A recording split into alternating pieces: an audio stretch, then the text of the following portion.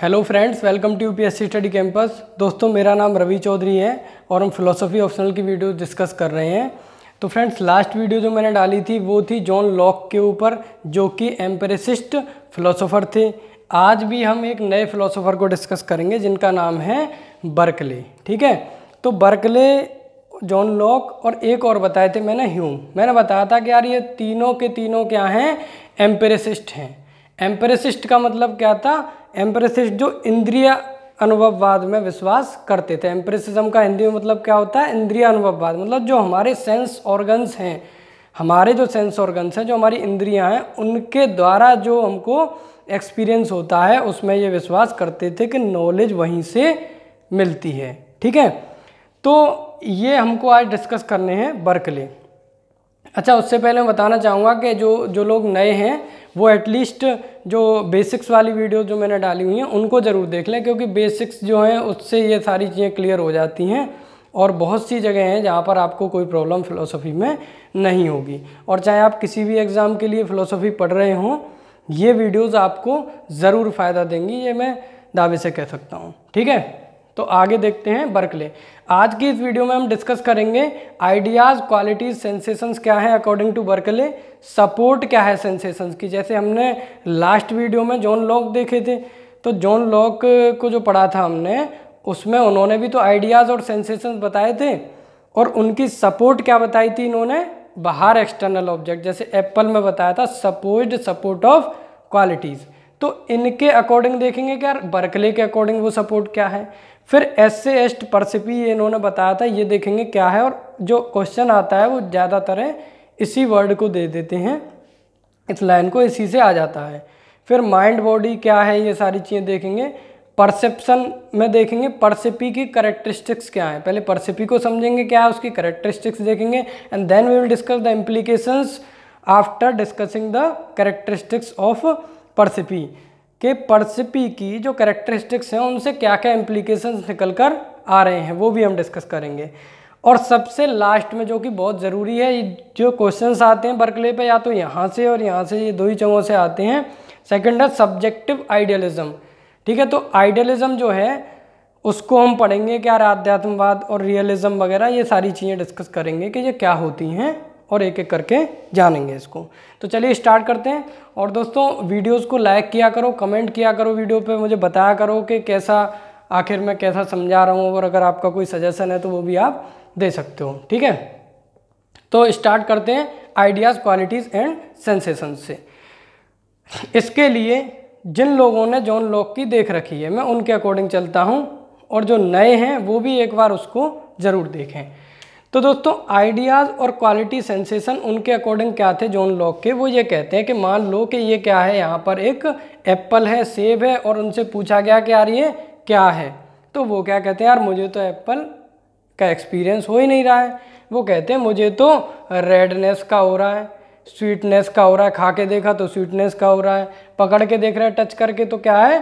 कहते हैं, यार हार्डनेस दिख रही है। तो वो ये क्या बता रहे थे? ये जो जॉन लॉक थे, ये तो इसकी क्वालिटीज़ बता रहे थे ना।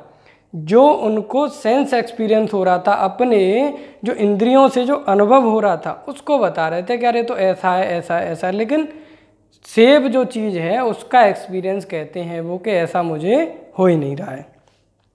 तो इसी को क्वालिटीज़ बोलते हैं। इसी को क्या बोल रहे हैं? सेंसेशंस को ही तो क्वालिटीज़ बोल रहे हैं। तो ये दोनों वर्ड याद रखना सेंसेशन और क्वालिटीज़ सेम है, इनके अकॉर्डिंग यहाँ पर कोई बदलाव नहीं है। अब बात करते हैं आइडियाज़ की। तो जो रेडनेस स्वीटनेस हार्डनेस ये सारे क्या हैं? ये सेंसेशंस आ रही हैं और इनको जो लॉक हैं, उन्होंने क्या बोला था? सिंपल आइडियाज़ बोला था कि नहीं कि ये सारे क्या हैं? सिंपल आइडियाज़ हैं। तो दोस्तों बर्कले भी सेम यही बात कहते हैं कि ये क्या हैं? सिंपल आइडियाज़ हैं। तो आइडियाज़ यानी प्रत्यय क्वालिटी और सेंसेशंस, ठीक है, जो अनुभव होता है, संवेदनाएँ होती हैं, ये क्या हैं? इनके अकॉर्डिंग सेम है। तो चलो ये सेम है तो डिफरेंस देखते हैं इन चीज़ों के डिफरेंस क्या था इनमें। अब डिफरेंस ये आ जाता है यहाँ पर, जब इनसे पूछा जाता है कि यार तो सेव क्या है? तो वो क्या कहते हैं, जो उन लोग? वो कहते हैं कि ये जो सिंपल आइडियाज़ हैं, इनसे प्रोसेस होकर इनको ऑर्गेनाइज जब कर देते हैं तो क्या बनता है? कॉम्प्लेक्स आइडिया और कॉम्प्लेक्स आइडिया कहाँ पर बनता था? माइंड में। माइंड में बनता था कि नहीं? उनके अकॉर्डिंग माइंड या सोल माइंड या सोल के अंदर कॉम्प्लेक्स आइडिया बनता है। तो ये भी यही कहते हैं बर्कले कि हाँ ये बात सही है। जो सिंपल आइडियाज़ हैं, उनको जोड़ दो एग्रीगेट उनका जो होता है ऑर्गेनाइज कर दो तो क्या बन जाता है? कॉम्प्लेक्स आइडिया मतलब सेब जैसी किसी चीज़ का प्रत्यय आइडिया हमारे जो सोल है जो हम, हमारा माइंड है, उसमें हमको एक्सपीरियंस होने लग जाता है, ठीक है? लेकिन अब अंतर ये है कि जॉन लॉक तो कहते हैं कि यार, जब ये यहाँ पर मुझको एक कॉम्प्लेक्स आइडिया बन रहा है तो सेम इसी से मिलती जुलती कोई ना कोई चीज़ बाहर एक्सटर्नल वर्ल्ड में एग्जिस्ट कर रही होगी, तभी तो ये बन रहा है, ठीक है? वो तो ये कहते हैं। लेकिन बर्कले कहते हैं कि एक्सटर्नल वर्ल्ड में ऐसी कोई चीज़ एग्जिस्ट नहीं करती। Berkeley says that things exist only in mind जो थिंग्स हैं, जो ऑब्जेक्ट्स हैं, वो कहाँ पर एग्जिस्ट कर रहे हैं? They exist only in only in mind और सोल जो मन है, उसी में वो एग्जिस्ट करते हैं। बाहर कोई रियल ऑब्जेक्ट एग्जिस्ट नहीं करते। तो यहाँ से आप समझ गए होंगे कि जो मैटर है, मैटर को इन्होंने मना कर दिया कि मैटर एग्जिस्ट बाहर नहीं करता। थिंग्स कहाँ पे एग्जिस्ट करती हैं? केवल इनके माइंड के अंदर। ठीक है? तो ये इसका डिफरेंस था, आपको समझ में आ ही गया होगा। अच्छा अब आगे चलते हैं। अब देखते हैं सपोर्ट ऑफ़ सेंसेशंस या क्वालिटीज़ क्या है। तो दोस्तों जॉन लॉक के अकॉर्डिंग जो सपोर्ट था सेंसेशंस का या क्वालिटीज़ का, वो सपोज्ड सपोर्ट क्या था? बाहर था। एप्पल एप्पल को क्या बोला था? Apple is the supposed support of qualities according to John Locke ठीक है? लेकिन बर्कले क्या कहते हैं? एप्पल को मानते हैं? नहीं मानते तो कहते हैं एग्जिस्ट करता ही नहीं। वो तो करते कहते थे कि हाँ एग्जिस्ट तो कर रहा है, लेकिन ये कहते हैं एग्जिस्ट नहीं करता। ये क्या कहना है कि जो माइंड या सोल है, वही क्या है?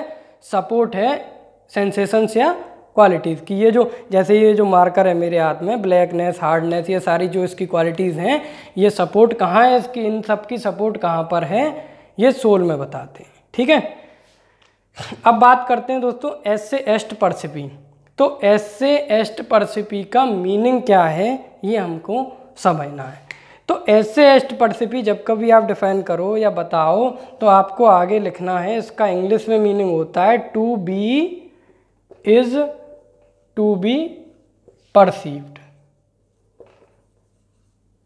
to be is to be perceived that means if there is something और there something exist that is nothing other than ideas और सेंसेशंस और परसेप्शन ये कहते हैं कि अगर कोई चीज़ एग्जिस्ट करती है तो वो और कुछ नहीं है, सिर्फ़ सेंसेशंस या आइडियाज़ ही हैं। इनसे अलग कोई चीज़ एग्जिस्ट नहीं करती। ये मतलब है इसका एसेस्ट परसिपी का। तो अब यहाँ से एक बहुत ही इम्पोर्टेंट बात निकल कर आ रही होगी, आप लोग समझ गए होंगे कि यार इससे तो बहुत ज़्यादा कन्फ्यूज़न भरी स्थिति हो जाएगी, बहुत ज़्यादा क्या हो जाएगी कॉम्प्लिकेशंस हो जाएँगी, वो क्या होंगी? इनके अकॉर्डिंग अब सरल शब्दों में कहो तो ये है कि अगर इस बोर्ड को कोई परसीव कर रहा है, कोई ऑब्ज़र्व कर रहा है तो तो ये एग्जिस्ट करता है, नहीं तो एग्जिस्ट करता ही नहीं है। ठीक है ना? आगे इन्होंने ये वाली बात भी तो कही है कि no mind no things if there is no mind और if there is no observer that means there are no extern no things in external world external world में कुछ एग्जिस्ट फिर करेगा ही नहीं। ठीक है? तो हाँ ये यही कहते हैं। अब यहाँ पर थोड़ा कन्फ्यूजिंग है, लेकिन जैसे इन्होंने बताया तो आप भी समझ लो, ठीक है ना? ये कहते हैं, यार, ये मेटेरियलिज्म को नहीं मानते, ये आगे डिस्कस करेंगे, ये सब्जेक्टिव आइडियलिज्म को मानते हैं, ये मेटेरियलिज्म को जो मैटर है, बाहर जो एक्सटर्नल वर्ल्ड में ये सारी जो चीज़ें हैं, इनको ये एक्सेप्ट नहीं करते। ये कहते हैं कि ये तो केवल इनके सेंसेशंस हैं जो कहाँ पर एग्जिस्ट करती हैं, हमारे माइंड में या सोल में एग्जिस्ट करती हैं। और ये ये भी कहते हैं कि अगर कोई माइंड या सोल नहीं है तो थिंग्स एग्जिस्ट करेंगी नहीं। एक सरल से एग्जांपल से समझ लो। इसका मतलब ये हुआ कि अगर मैं इस कमरे में हूँ और ये तमाम सारी चीज़ें मेरे को दिख रही हैं, बोर्ड है, दीवार है, ये है, ये सारा कुछ मुझे दिख रहा है। तो मैं इसको ऑब्ज़र्व कर रहा हूँ तो मेरी सोल के अंदर या माइंड के अंदर इनका कॉम्प्लेक्स आइडिया एग्जिस्ट कर रहा है कि नहीं? बिल्कुल कर रहा है। तो ये चीज़ें भी एग्जिस्ट कर रही हैं कहाँ पर?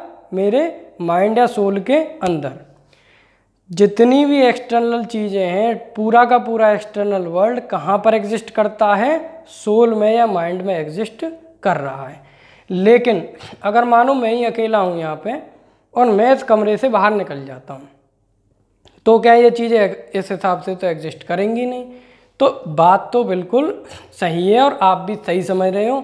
कि यार इस हिसाब से तो जो अंदर जो चीज़ें थी वो एग्जिस्ट कर ही नहीं रही। जैसे ही मैं बाहर गया, जब कोई ऑब्जर्वर ही नहीं रहा तो ये चीज़ें कहाँ रहेंगी? वो तो कहते माइंड में है तो ये चीज़ें एक्सटर्नल वर्ल्ड की रहेंगी नहीं, ठीक है?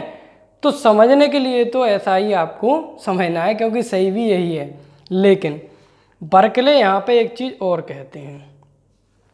वो कहते हैं कि यार ये चीज़ें फिर भी ऐसी की ऐसी बनी रहेंगी। क्यों बनी रहेंगी? बिकॉज़ इन्होंने कहा कि जो अल्टीमेट ऑब्जर्वर है अल्टीमेट ऑब्जर्वर कौन है इनके अकॉर्डिंग गॉड ये कहते हैं कि यार जो गॉड हैं, भगवान हैं, वो क्या है? अल्टीमेट ऑब्जर्वर हैं। और वो तो सारी चीज़ों को ऑब्ज़र्व कर रहे हैं। सारी की सारी जो एक्सटर्नल वर्ल्ड है, सब कुछ उनके माइंड में एग्जिस्ट करता है। इसीलिए क्या होता है कि ये चीज़ें गायब नहीं होती हैं, फिर भी हमको लगता है, सेंसेशन मिलती रहती हैं, ठीक है ना? तो ये इन्होंने समझाया। अब बात आप इनकी क्रिटिसिज्म तो समझ ही गए होंगे, क्योंकि ये क्या है? एम्पेरिसिस्ट हैं।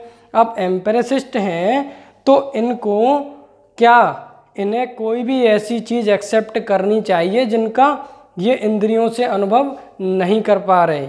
ठीक है? क्या इनको कुछ ऐसा करना चाहिए एक्सेप्ट एम्प्रेसिज्म के हिसाब से तो इनको ये एक्सेप्ट नहीं करना चाहिए। लेकिन देखो, ये तो गॉड को भी क्या कर ले रहे हैं? मान ले रहे हैं, लेकिन गॉड का तो इनको जो सेंस एक्सपीरियंस हुआ ही नहीं। आगे हम डिस्कस करेंगे। अगला जो ह्यूम की बात जब आएगी तो ह्यूम क्या कहेंगे? सोल के ऊपर कुछ बोलेंगे। ये सोल को भी तो एक्सेप्ट कर रहे हैं। सोल या माइंड भाई वो भी कहाँ उसका एक्सपीरियंस कर पा रहे हो आप? ठीक है? इनके अकॉर्डिंग तो देखेंगे आ, आगे कुछ सारा कुछ क्या है। गॉड इन्होंने क्यों एक्सेप्ट किए? ये भी हम नेक्स्ट वीडियो में डिस्कस करते हैं। ठीक है? Thank you for watching the video